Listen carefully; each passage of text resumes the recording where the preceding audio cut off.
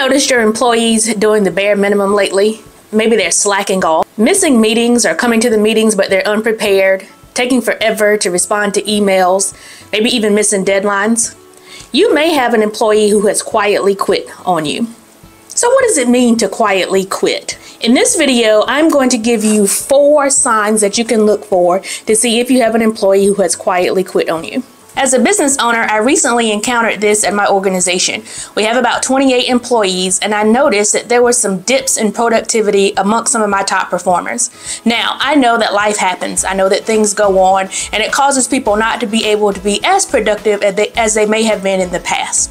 However, whenever it becomes habitual and some of the reasons are not there anymore, you have conversations with them, but you just can't put it together, it is very possible that these people have quietly quit on you. Now, I want everybody to know that burnout is real, okay? Burnout is a thing. Whenever you talk about quietly quitting, this is somebody who has mentally checked out on you and your organization. Now, we'll talk about all those reasons and things of that nature, but I don't want anyone to mistake burnout for quietly quitting. Now, quietly quitting is one way that people who are burned out cope. And so that is important to know on how to actually deal with the situation. But first, what you have to do is to identify do you actually have someone who is quietly quitting on you? Now, what are these four signs that can help you recognize if you have a quiet quitter on your team? Number one is cynicism and negativity.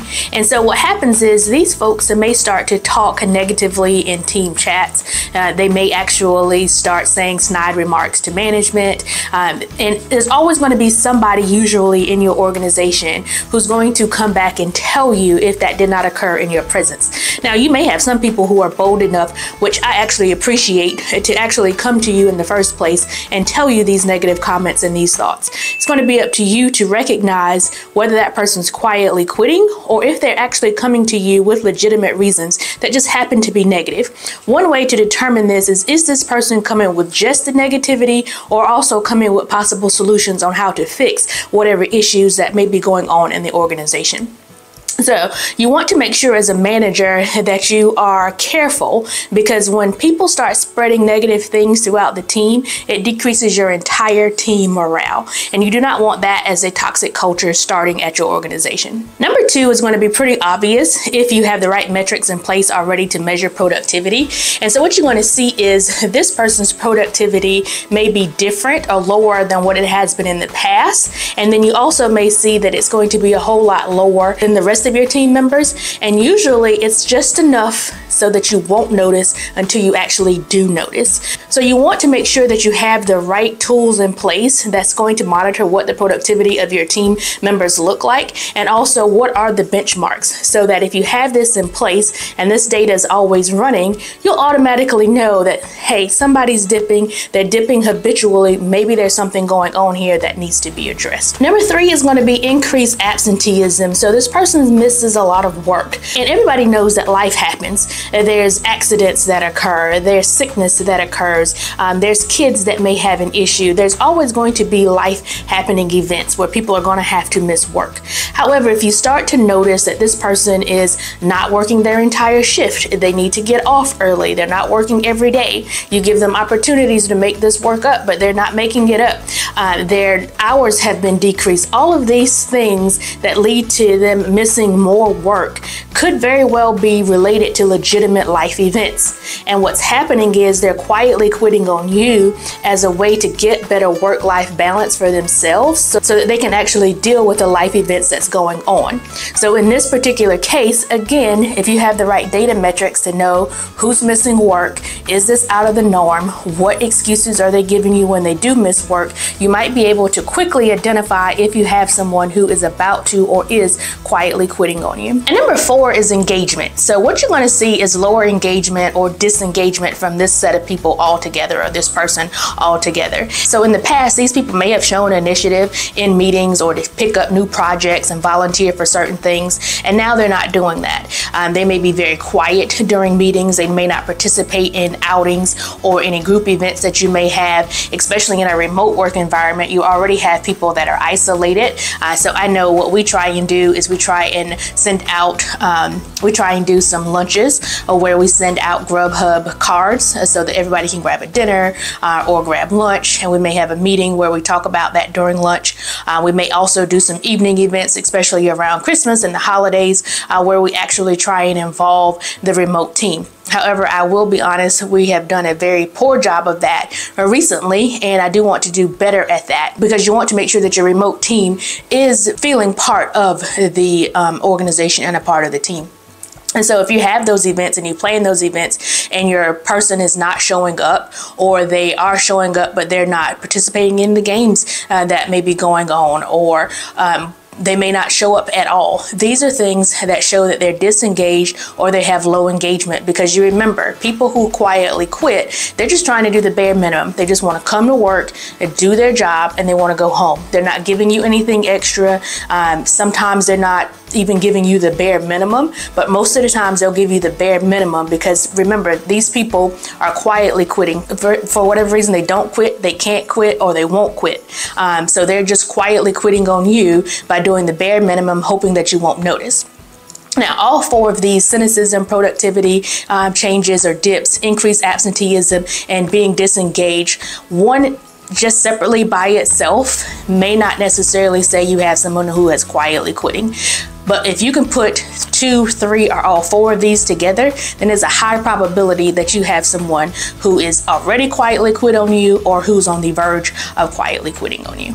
Now, I do feel it's very important to talk about burnout versus quietly quitting. I know we briefed upon it at the intro of this video, but now we know the four signs to look for someone who may be quietly quitting those signs also look like somebody who may be burned out. Um, however, what I want you to know is people who experience burnout are usually people who are already top performers. These people are really sold in on your company. They're sold in on their job. They ultimately always want to do a good job. They're overachievers, some people may call them, but they're really sold on doing a good job. Quietly quitting for someone who is burned out is an enemy. These people really do not want to quietly quit because remember, in their mindset is to always want to do a good job. So when they're forced to make the decision to not be the overachiever, to not meet the deadlines, to not be as productive, to do just the bare minimum, that goes against everything in their mindset because they always want to do a good job. They want to do what is right. What happens is folks that are burned out, they give, they give, they give, they give. You pile stuff on them as a manager. They pick up the slack from somebody who's truly quietly quitting. They're working all these hours. They're picking picking up extra assignments. And what happens is they've given, given, given until they're completely emotionally drained. When that happens, that person has to make a decision. Are they going to come to you as the manager and voice what their grievances are, letting you know honestly and candidly that they're having these issues? And if they do that, you as the manager have to make sure that you're not dismissive of those, especially when you know this person is your top performer. I like to say people who are burned out, they give and they give and they give until they just can't go another further okay? They're just they're done. I have given everything i can. I am being productive. I am overproductive but i still have a lot of work left to do.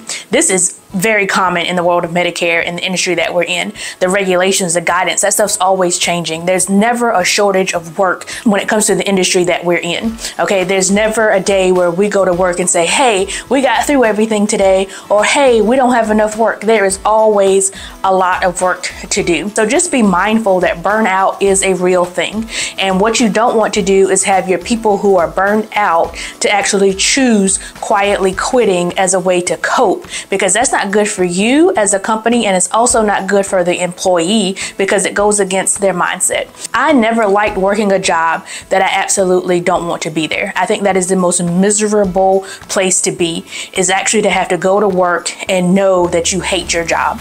And as a business owner, I never want to set that atmosphere for any of my employees.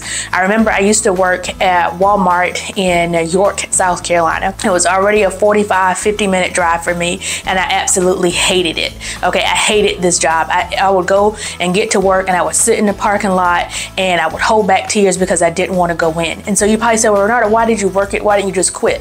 Well, remember, people who uh, quietly quit, or people who are burned out, or people who show some of those signs that we saw earlier, they don't quit because either they can't quit or they actually like the job and they want to actually do better and stay. In my instance, I couldn't quit. I needed the income. There was no other place for me to pick up and go at that time. I needed the finances, so I had to stay and work. So just be mindful of that. You never want to set an atmosphere as a business owner or as a manager or even as an employee where other people don't want to come to work because you set up a toxic environment. Hopefully you're not panicking saying, oh my gosh, I've got some quiet quitters on my team and I have got to go and do something. Wait. What I want you to do first is I want you to watch this next video that is going to talk about the five reasons why someone may quietly quit. It's important to understand why why someone may quietly quit on you so that we can then address what you need to do to prevent it um, and keep somebody from quietly quitting on you. So I encourage you to go right on over and watch the next video so you can learn more about quiet quitters and how you can address them in your team.